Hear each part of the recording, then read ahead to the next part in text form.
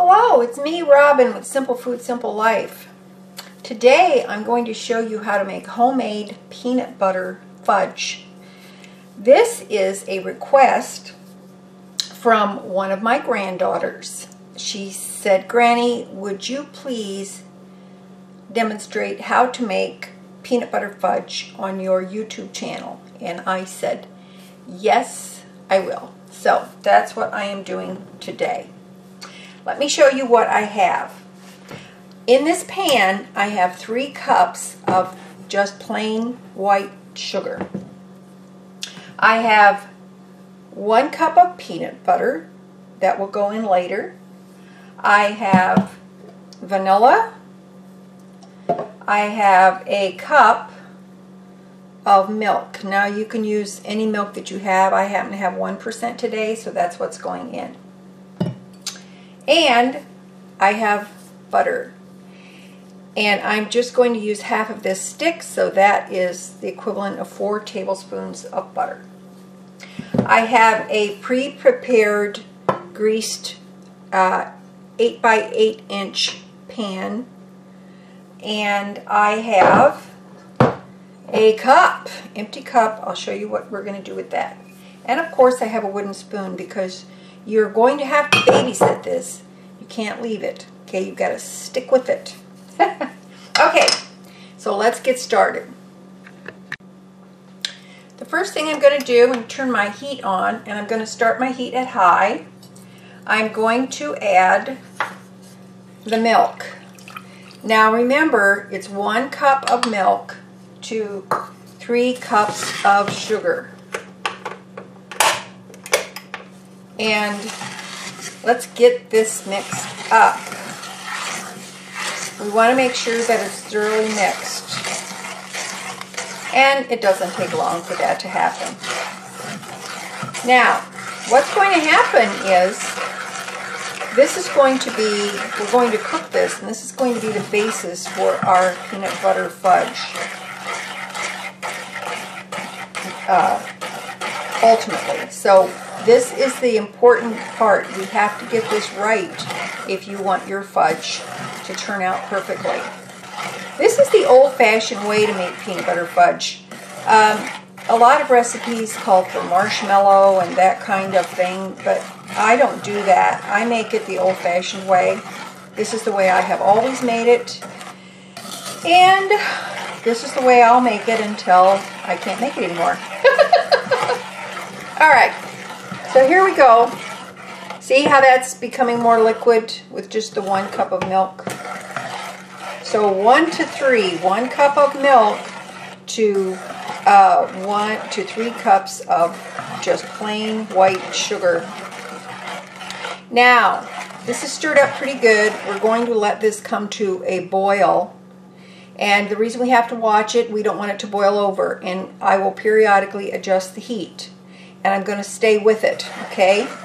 So I'm going to let this start bubbling. The sugar will melt even more. You won't, it won't feel grainy on the bottom anymore. And, um, and then I'll show you what we're going to do next. Alright, now it's been on there for about a minute, minute and a half, but I want to show you what I've done while I'm waiting for this to come up to the boil.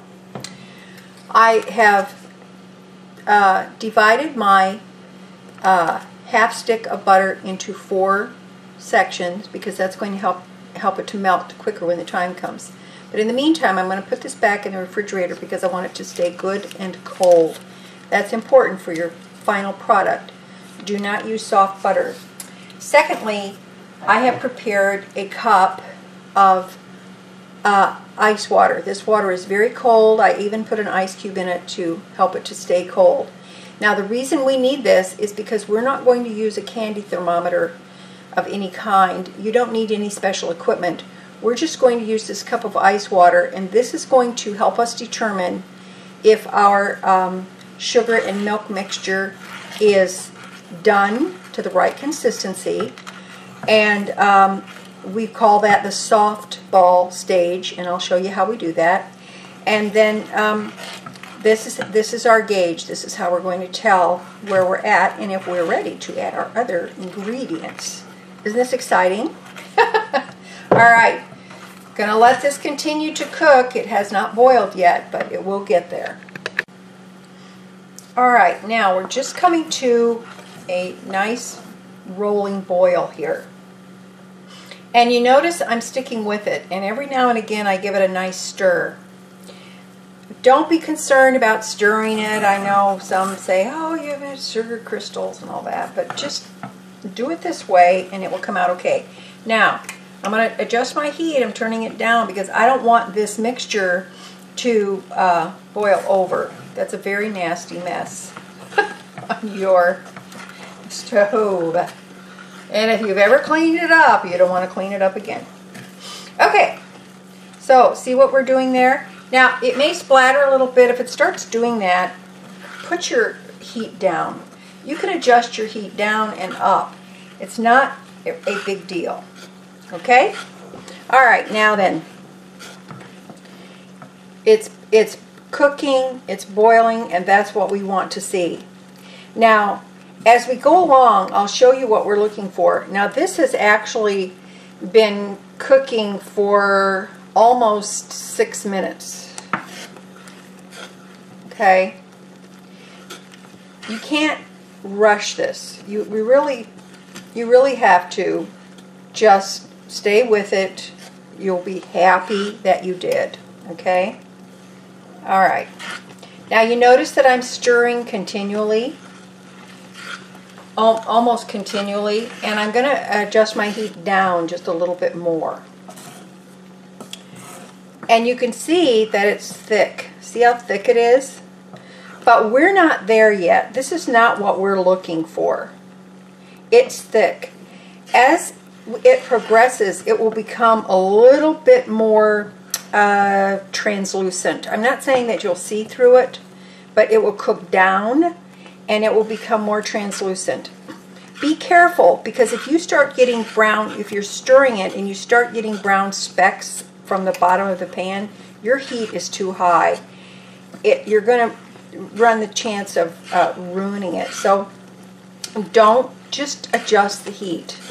It's far better to have a little too low than too high. Okay? Now I'm still stirring it. Now one thing, be sure that the pan you use is a heavy bottom pan. That's pretty important. If you use a thin pan, you run the risk of burning your milk and sugar mixture no matter no matter how you adjust the heat. You just will. So that's a good preventative. Make sure you use a heavy bottom pan.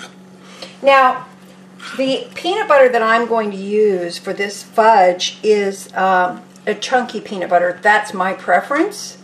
Uh, if that's not your preference, use the creamy. That's perfectly fine.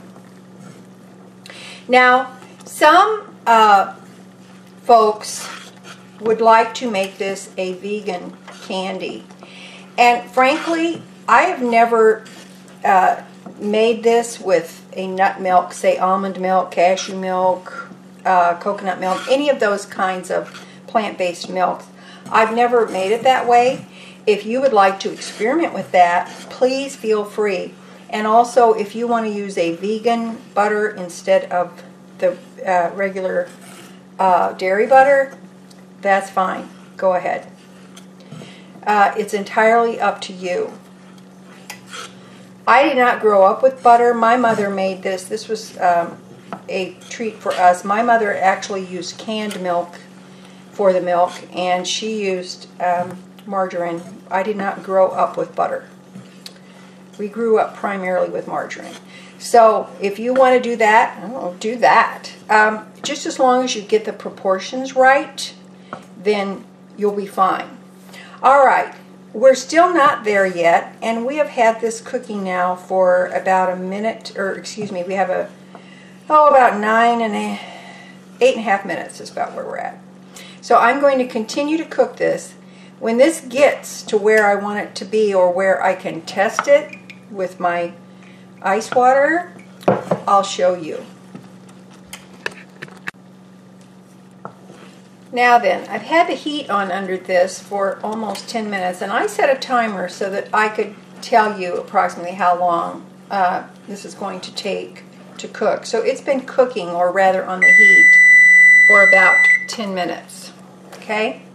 Now, I just want to show you how, uh, now I know from the look of this, this is not done. I've got it on a medium-low heat. It is a nice rolling boil. So I know from the look of it, it's not done yet. But what I'm going to do is, I'm going to take some of it, like this, and I'm going to put it in the cup of ice water. And the reason I'm doing that is because I want to test it. Now, let me bring you over here so I can show you what I'm going to do. And I'm still keeping an eye on my my uh, mixture. That's pretty important. All right, now I'm going to drain off a little bit of this water so I can see it better. Now look, let me show you something. I can do it with a spoon here. Do you see? That is not, see how runny that is? That's not cooked. That is, it's getting there, but it is not to a softball. A softball stage is going to be where we can, literally, I can reach in there with my fingers and I can form it into a nice little softball. We're not there yet. Okay? All right. So, in the meantime, I'm going to give this a stir. Excuse me. Better come bring you back. I'm going to give it a stir, and then I'm going to adjust my heat again because it's getting a little high. I don't want it to run over. You see how you have to babysit it? But this is a lot of fun. Once you learn how to do this, it just, it'll become second nature to you. And if, if people love peanut butter, they generally love this. This is probably my, this is my oldest son's favorite thing. If I want to make him really happy, and he's 50 years old now, I just make him a batch of this and send it home with him and he's happy. okay, I'm going to prepare another cup of ice water because I want to make sure that I always have one handy for my testing because once this starts coming together, it goes fast. So we want to make sure we are prepared at all times. All right, got my ice water ready. Again, some fresh ice water. And I'm going to cook this. Still cooking it some more. Now I've adjusted my heat a couple of different times. It's, it's not a big deal. You're just going to stay with this. You know, you wouldn't put your baby in a bathtub and leave it. Well, you don't want to start this and leave it you have to babysit your your uh, sugar mixture. Okay, so we're not quite there yet. Now, I'll show you what happens when you're, you see how it's become thicker, it's become more, and you see how the bubbles are kind of changing on it. And also, uh, I've adjusted my heat so there's no splatter or anything. Just exercise caution because this is extremely, extremely hot. And molten sugar or melted sugar, hot sugar, you do not want to have an accident with that. So be careful. Just exercise caution and you will do fine. Now you see how we're doing there? Look at that. It becomes uh, kind of molten. And that's really kind of what you're you're looking for there. Okay? All right. Now let me test it. Let's test it one more time. And we will uh, see where we're at. I'm going to take my cup. I'm going to add the mixture to it. Now, I don't think this is ready but it's okay. We're going to test it because it's good to test it several times to know where you're at. Now I'm going to pour a little bit of this water off so I can reach down in there. I guess I could have gotten a wider cup, but I didn't. So, are we there? Nope, we're not there yet, but we will be there. we will be there. So, cook it a little bit longer. This whole thing from beginning to end is going to take you probably about 20 minutes. It's candy. You, you just really cannot rush candy. Okay? Now, I do have a candy thermometer. It doesn't have any batteries in it right now. Which shows you how much I use it. but this is the old-fashioned way. You know, there was a time they didn't have candy thermometers. All they had was this. And they're, they're cold water bath testing. All right, I'm going to grab some more water. Okay, I changed cups. I got a bigger cup. Because that one just wasn't working for me. It was pretty, but it just wasn't doing the job. I got to be able to get my fingers down in there so I can feel it. So, okay. Stirring and we're stirring and we're stirring. But now, can you see if there's a little bit of a change there? Can you see how we're, see it? And it's just a rolling boil. It's not a hard boil, it's a rolling boil. And you see when I quit stirring it, how it, it bubbles up. It kind of has a little volcanic action there. How do you like that? How do you like that phrase? Volcanic action. All right. There we go. We're stirring it. We're going to keep on stirring it. And But look, it started to change color a little bit. It's not quite as white. It's a little more opaque. And that's what we're looking for. So we're getting there. But keep in mind, you know, once this is made and we add our other ingredients, this moves really quickly and um, it will harden up pretty quickly once we get it in our buttered dish. All right. A couple more minutes and we will be ready to test it again. I think we're almost there. All right, now look, I've tested it again and I want you to see where we're at. Look at that. See the difference? that formed nicely into a ball. And that's really what we're looking for. So I'm going with it. Okay? All right. Dry my hands off here. Now, back it off a little bit. I'm going to go grab my butter. All right, now, I'm going to turn my heat off. And I've got my butter. It's, it's nice and cold. I'm going to drop it down inside the mixture, the sugar mixture, and I'm going to quickly add a splash of vanilla. You don't really need to measure the vanilla, just it's just a splash of vanilla is all it is. And I'm going to stir this up until my butter is almost completely melted. That's why I cut it up into smaller chunks so that it wouldn't take as long to melt. Okay? I'm just using my wooden spoon.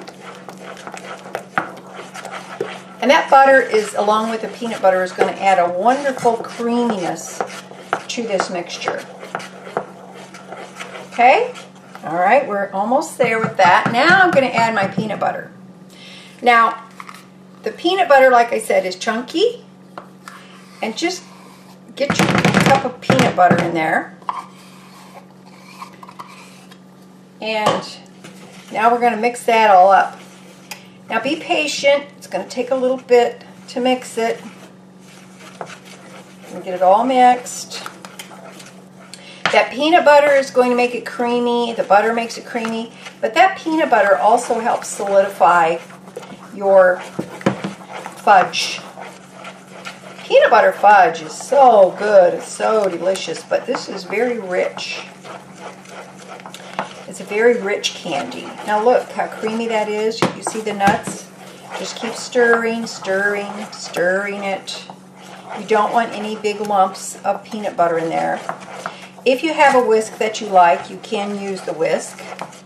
I find it really isn't necessary because everything pretty much melts down nicely. Okay?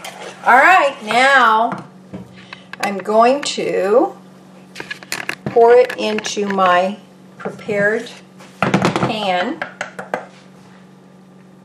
that is buttered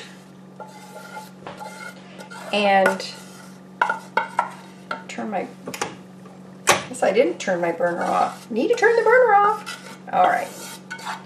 Now, sometimes if you cook this a little bit too long, it will start solidifying before you get it out of the pan.